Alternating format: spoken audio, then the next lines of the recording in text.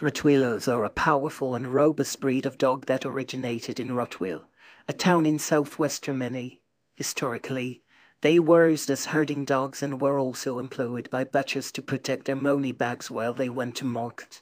Today, they are known for their impressive strength and loyalty, making them popular as guard dogs and family pets. Rottweilers have a short, black coat and muscular build, weighing up to 135 pounds. They are known for their intelligence and require early socialization and training to ensure they develop into well-behaved dogs. Rottweilers are also known for their protective instincts and will go to great lengths to protect their family and territory.